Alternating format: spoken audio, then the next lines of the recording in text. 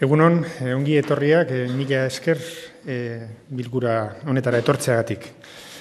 Eusko jaurlaritzaren izenean, eskerona adierazi nahi diot gobernantzeri Donostia 2006 Europako kulturi liburuari eta Santelmo e, museoari jardunaldi hauek aurrera eramateko bere laguntzagatik eta implikazioagatik. Zergatik bultzatzen dugu e, jardunaldi hauek jaurlaritza bezala edo idazkaritza bezala? Ba, Eman behar dudan lehenengo erantzuna da, bake eta bizikdetza planaren garapenaren barruan, kokatuta dagoela, autokritikaren inguruan, e, hausnarketa sustatzea, bultzatzea. Eta hori, e, zuzendu programaren inguruan e, finkatu dugu. Zergatik orduan, e, honen inguruan e, lan bat egitea, hau da egiten dugun gogoeta. E, normalizazio politikoan aurrera egiteko ostopo nagusia, iraganean dago. Terrorismoari, indarkeriari, giza eskubideen urraketari, satiketari eta krispazioari lotuta izan den iragan urbila, konfiantza gabezia eragiten duen eta bizikidetzarako adostasunak lortzea zailtzen duen eragile sakaban atzailea da. Honakoa da, ezinbestean mai gainean jarri beharko galdera. Iraganean iraganaren pisua kontutan izanik, nola sor daitezke konfiantza eta adostasun guneak sortzeko baldintzak bakia eta bizikidetza arloetan. Erantzun hipotesia honakoa da. Iraganarekiko autokritika da, gure herriko, familia desberdinen arteko, konfiantza eta elkarlana sortzeko baldintzak eraikitzeko oinarria. Esparru honetan kokatzen dira zuzendu programa eta jardunaldi hauek. Bueno, me gustaría empezar expresando todo nuestro agradecimiento al Instituto Governance, a la Capitalidad Europea de la Cultura de Ostia 2016, al Museo San Telmo, por su colaboración, por su implicación en la celebración de estas jornadas. El marco es probablemente el más apropiado. Estamos a las puertas de 2016. Podríamos decir que puede ser el principio de unos principios compartidos. Estas jornadas serán lo que se diga en ellas, pero también serán lo que refleje la imagen de las personas a las que ha reunido.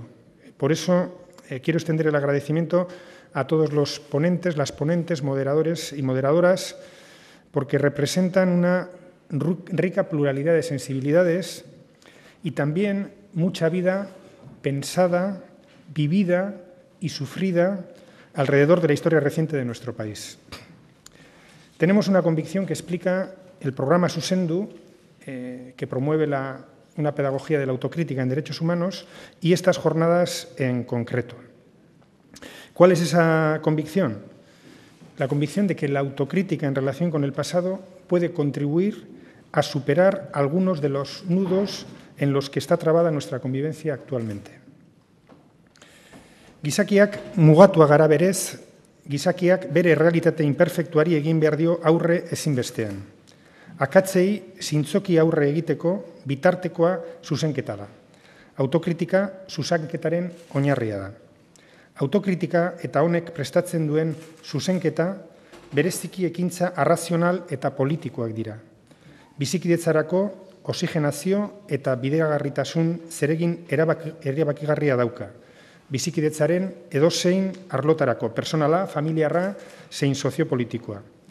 Bizi dugun mundu honetako errealitatean, bai eskuntzarloan, bai arlo personalean, sozial eta politikoan, zuzenketa eta autokritika ez dira behar beste aintzat hartzen.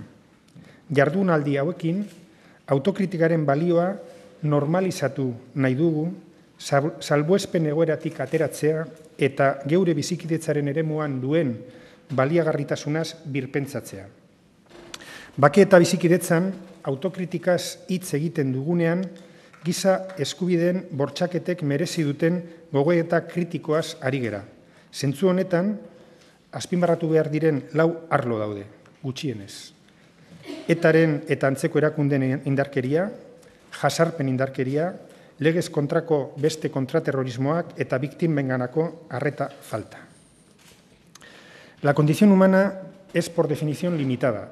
El ser humano está obligado a enfrentarse a su realidad imperfecta, en esta, eh, dentro de este principio de realidad, la herramienta para afrontar honestamente el error es la rectificación. Rectificación es Un poder rectificar es un poder esencial en manos del ser humano con una incidencia decisiva en todos los planos de la vida y la convivencia. El ser humano puede elegir rectificar. Es una de las expresiones más elevadas de su propia libertad, elegir rectificar. Así que la autocrítica y la rectificación es antes que nada una elección libre. La rectificación es por eso una posibilidad extraordinaria, porque tiene poder para reparar y enmendar lo que ha estado mal hecho o dicho. La base de la rectificación es por eso la autocrítica. La autocrítica es realizar un juicio crítico sobre obras o comportamientos propios. Autocrítica y rectificación son acciones eminentemente racionales y políticas. Tienen un decisivo papel en la oxigenación y en la viabilidad de la convivencia en cualquier plano, ya sea personal, familiar o sociopolítico. Pero la rectificación y la autocrítica no están suficientemente atendidas, entendidas y valoradas en la realidad personal, educativa, social o política del mundo en que vivimos. Producen un cierto vértigo, un cierto temor. Con estas jornadas quisiéramos contribuir a normalizar el valor de la autocrítica, a sacarlo de la excepcionalidad y a repensar su utilidad en el ámbito de nuestra convivencia. Cuando en materia de paz y convivencia hablamos de autocrítica sobre nuestro pasado, nos referimos a la reflexión crítica que merecen las vulneraciones de derechos humanos sufridas en el pasado. Principalmente nos referimos a eso. En este sentido, hay al menos cuatro ámbitos necesitados de una valoración expresa. Por una parte, la violencia de ETA, ETA político-militar, comandos autónomos y similares, tanto sus hechos como la legitimación del recurso a la violencia como arma política. En segundo lugar, podríamos citar la estrategia de socialización del sufrimiento, la cale borroca y la realidad de miles de personas amenazadas, extorsionadas y escoltadas durante años. En tercer lugar, podríamos citar la responsabilidad por un ejercicio ilícito de la violencia estatal, paraestatal o por abuso de poder policial, penal o penitenciario. Y en cuarto lugar, deberíamos citar la falta de atención a las víctimas, a, las víctimas del terrorismo provocadas por ETA y organizaciones similares, especialmente en, en las décadas de los 70 y los 80, y también a las víctimas del Batallón Vasco Español, el GAL y organizaciones similares, especialmente en los 70 y en los 80 y especialmente por su invisibilización institucional. Este es un pasado duro eh, que tenemos por detrás de nosotros, que llevamos en nuestra mochila, y cuando hablamos de autocrítica, centrémonos, estamos hablando de esto, no de otras cosas. La autocrítica en relación a nuestra historia vivida con respecto a estos acontecimientos. En relación con ese pasado de violencia, ¿qué es lo que nos ha ocurrido a muchas personas en distintos momentos de nuestra historia reciente? Podríamos decir que hemos sido partícipes de un desorden de valores. Un desorden en la escala de valores que podía situar el valor de la dignidad humana al mismo nivel o incluso por debajo de unas u otras convicciones ideológicas. Este es el desorden de valores. Si mi causa tiene más valor que la causa de la dignidad humana, el recurso a medios no éticos para defenderla puede ser avalado.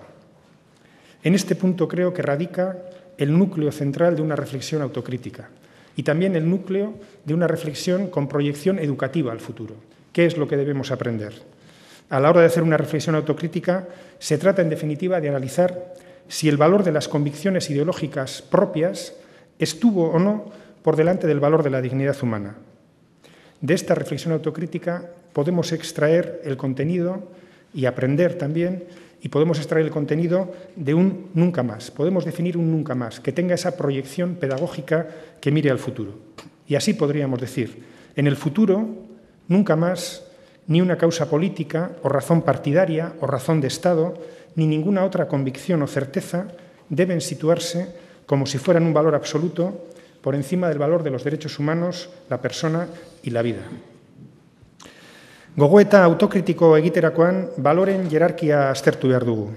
Azken batean, norberaren uste osoak giza duintasunaren gainetik izan ziren hausnartzea da kontua. Gogoeta autokritiko honetatik zer ikas dezakegu? Inoiz gehiago ez bat definitu dezakegu. Etorkizunean, inoiz gehiago ez, ez kauza politikorik edo arrazoi partidariorik edo estatukoa, ez bestelako uste osorik, ez da jarriko balio absoluto bat izango balitz bezala, giza eskubideen personaren eta bizitzaren balioaren gainetik. Ahora mismo y mirando al futuro, la política vasca necesita encontrar y desarrollar un marco de trabajo compartido en nuestra convivencia. Estas jornadas pueden ayudarnos a identificar una serie de principios que generen confianza y nos permitan mirar al presente y al futuro a partir de una valoración crítica y compartida sobre el pasado. Eskerrik asko eta jarrai dezagun lanean. Venga.